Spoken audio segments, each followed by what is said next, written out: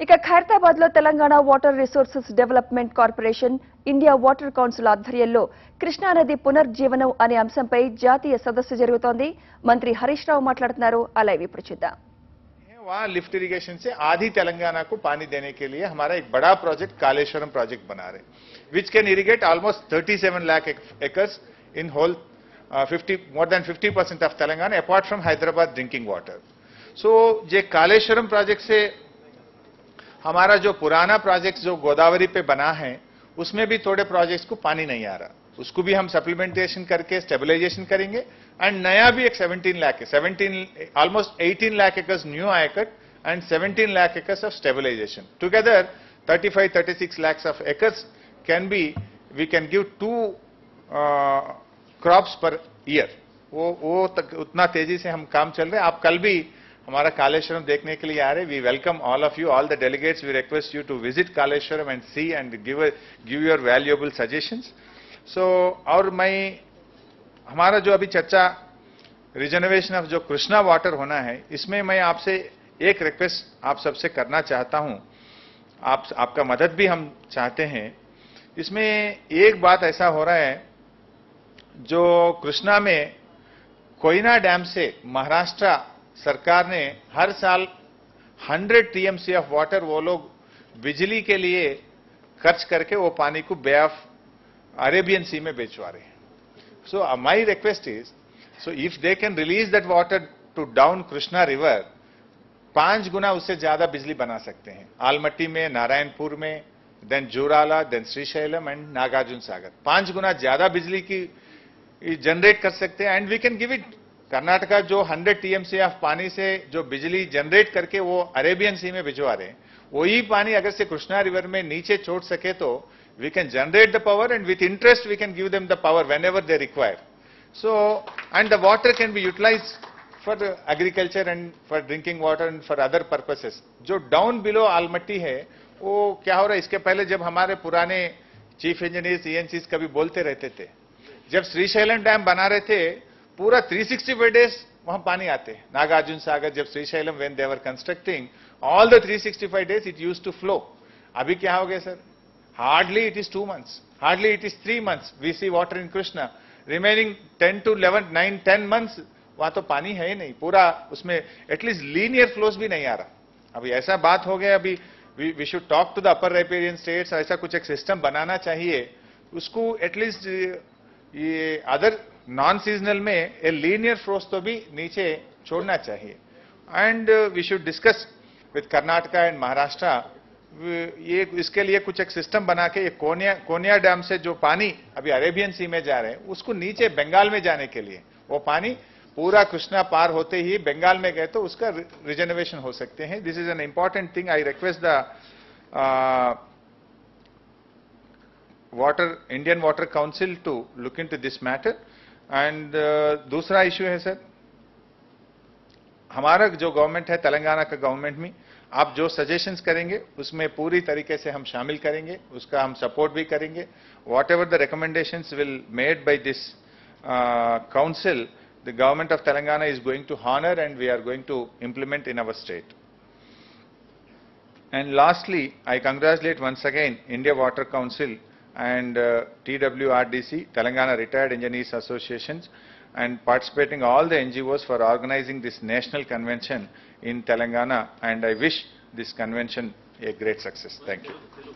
Media కోసం media కోసం please please Lakshma Reddy గారు చెప్తారు కృష్ణా నది రిజర్వేషన్ మీద ఈరోజు ఒక నేషనల్ కాన్ఫరెన్స్ను మన హైదరాబాద్లో చేపట్టడం నిజంగా చాలా సంతోషం దీంట్లో మన రాజేందర్ సింగ్ గారు water men of India Magsaysay award గ్రహీత వారు ఈరోజు దీంట్లో చాలా క్రియాశీలకంగా వారు హైదరాబాద్కి రావడం వారితో పాటు జాతీయ వ్యాప్తంగా ఎంతో మంది ప్రముఖులను వారందరూ కూడా ఈరోజు హైదరాబాద్ వచ్చి పాల్గొంటున్నందుకు వారందరికీ శుభాకాంక్షలు తెలియజేస్తూ ఈ కృష్ణానది రిజర్వేషన్ అనేటువంటిది ఇవాళ ఒక్క కృష్ణానది కోసమే కాదు దేశంలో ఉండే అన్ని నదుల కోసం కూడా మనందరం కూడా మేల్కొనాల్సినటువంటి అవసరం ఉంది. ఇవాళ కేంద్ర ప్రభుత్వం గంగా నది పైన చేస్తా ఉన్నారు. అదేవిధంగా రాజస్థాన్లో కూడా అనేక చిన్న చిన్న నదుల విషయంలో రాజేంద్ర సింగ్ గారు గత ఇరవై సంవత్సరాలుగా పనిచేసి గొప్ప ఫలితాలను వారికి సాధించినటువంటి అనుభవం ఉంది. అలాంటి గొప్ప వ్యక్తి ఈరోజు భవిష్యత్తులో రోజు రోజుకు కృష్ణానది అనేటువంటిది it it has become a dying river ఇప్పుడు దానిని మనం నిలబెట్టుకోవాల్సిన అవసరం ఉంది. ఆ నదిని కాపాడుకోవాల్సిన అవసరం ఉంది. అందువల్ల ఈ దీనికి చేపట్టవలసినటువంటి చర్యలు ఏ రకమైనటువంటి ప్రత్యామ్నాయాలు తీసుకోవాలనే దాని మీద ఈరోజు ఈ సెమినార్లో మనం చర్చ చేసుకుంటా ఉన్నాం. ముఖ్యంగా గౌరవ ముఖ్యమంత్రి చంద్రశేఖరరావు గారు తెలంగాణ ప్రభుత్వం ఇవాళ భారతదేశంలోనే అతి ఎక్కువ నీటిపారుదల రంగం మీద నిధులు ఖర్చు పెడుతున్నటువంటి రాష్ట్రం తెలంగాణ రాష్ట్రం. నీటి యొక్క విలువను నీటి యొక్క ప్రాధాన్యతను నీటి యొక్క అవసరాన్ని బాగా గుర్తించిన గుర్తించినటువంటి ముఖ్యమంత్రి గారు ఇవాళ కేసీఆర్ గారు. అందువల్ల నీటి విలువను తెలిసిన వాళ్ళు కనుకనే ముఖ్యమంత్రి గారు ఈరోజు పెద్ద ఎత్తున నీటిపారుదల ప్రాజెక్టు మన రాష్ట్రంలో చేపట్టాం. ఇటు మిషన్ కాకతీయ కావచ్చు అదేవిధంగా లిఫ్ట్ ఇరిగేషన్ ప్రాజెక్టులు కావచ్చు యుద్ధ ప్రాతిపదికన దేశానికి ఒక మోడల్గా ప్రాజెక్టులను ఇంత వేగంగా పూర్తి చేయొచ్చు అని చెప్పి ఈరోజు ఒక మోడల్గా మన తెలంగాణ ప్రభుత్వం పనిచేస్తూ ఉంది. మరి ముఖ్యంగా ఈ కృష్ణా నదిలో ఏదైతే మహారాష్ట్ర రాష్ట్రం కోయినా డ్యాం ద్వారా ప్రతి సంవత్సరం వంద టీఎంసీలను అరేబియన్ సముద్రంలోకి పంపుతా ఉన్నారు. వారు విద్యుత్ ఉత్పత్తి చేసి ఆ నీరును అరేబియన్ సముద్రంలో పంపుతా ఉన్నారు. ఇవాళ మనం ఈ కాన్ఫరెన్స్ ద్వారా నేను ఈ వాటర్ కౌన్సిల్ ముందు పెడుతున్నటువంటిది ఏంటంటే ఆ నీటిని నదిలోకి కృష్ణా నదిలోనే పంపించగలిగితే ఐదు సార్లు మనం విద్యుత్తును ఉత్పత్తి చేసుకునే అవకాశం ఉంది. ఆల్మట్టిలో నారాయణపూర్లో జూరాలలో అదేవిధంగా శ్రీశైలం సాగర్. ఈ ఐదు చోట్ల విద్యుత్ ఉత్పత్తి చేస్తే అంతకు ఐదంతల రెట్టింపు విద్యుత్ ఉత్పత్తి అవుతుంది.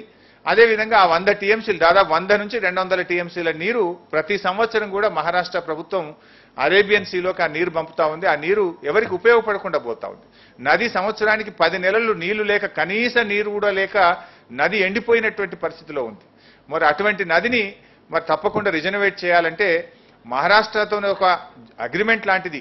ఈ కింది రాష్ట్రాలు ఇటు కర్ణాటక కానీ తెలంగాణ కానీ ఆంధ్రప్రదేశ్ కానీ ఆలోచించి ఆ నీటిని కిందికి వదలడం ద్వారా ఇటు రైతాంగానికి ఉపయోగపడాలి అటు మహారాష్ట్ర విద్యుత్ అవసరాలు కూడా తీరే విధంగా ఈ యొక్క సెమినార్లో చర్చ జరగాలని ఆలోచించాలని చెప్పి నేను కోరుతా ఉన్నా. అదేవిధంగా లీనియర్ ఫ్లోస్ ఈరోజు ఆల్మట్టి నారాయణపూర్లో నీళ్ళు నిల్వ ఉండిపోయి మరి మిగతా ఎనిమిది పది నెలల్లో ఒక చుక్క కూడా నదిలో ప్రవాహం లేకుండా పోతా ఉంది కనుక మరి లీనియర్ ఫ్లోస్లు కూడా నదిని జీవంగా ఉంచాలి అన్నప్పుడు తప్పకుండా ఎంతో కొంత నీరును కిందికి వదిలే విధంగా కూడా ఆలోచించాల్సిన అవసరం ఉంది. ఎందుకంటే త్రాగునీటి అవసరాలు కూడా ఇబ్బంది అవుతా ఉంది. ఇవాళ తెలంగాణ ప్రభుత్వం గౌరవ ముఖ్యమంత్రి గారు మిషన్ భగీరథ కార్యక్రమం మీద ప్రజలందరికీ రాష్ట్రంలోని ప్రతి ఇంటికి కూడా స్వచ్ఛమైనటువంటి నీళ్ళు ఇచ్చేటువంటి కార్యక్రమం మిషన్ భగీరథ కార్యక్రమం తీసుకున్నాం. సరే మిగతా రాష్ట్రాల్లో ఏమవుతుందంటే నదిలో నీళ్ళు లేనప్పుడు అసలు మంచినీళ్ళకు కూడా ఇబ్బంది పడే పరిస్థితి వచ్చింది. కానీ మొట్టమొదటిసారిగా మన దేశంలో మిషన్ భగీరథ కార్యక్రమం కింద ఈ దేశంలోని ప్రతి ఇంటికి కూడా ఉపరితల నీరు అంటే నదీ జలాలను ప్రతి ఇంటికి శుద్ధి చేసినటువంటి నీళ్ళనిచ్చే ఒక గొప్ప కార్యక్రమం మిషన్ భగీరథ కార్యక్రమం కూడా మన తెలంగాణ ప్రభుత్వం తీసుకుంది. మరి అట్లీస్ట్ ఈ డ్రింకింగ్ వాటర్ రిక్వైర్మెంట్స్ కోసం ఈ వీటి కోసమైనా నదీ జలాలను కాపాడుకోవాల్సినటువంటి అవసరం ఉంది. ఇటు సాగునీటి పారుదల అవసరాలు ఇటు మంచినీటి అవసరాలు రెండింటిని దృష్టిలో పెట్టుకొని నదులను కాపాడుకోవాలి. అంటే నదులు రోజు రోజుకు అంతరించిపోయేటువంటి పరిస్థితి వస్తుంది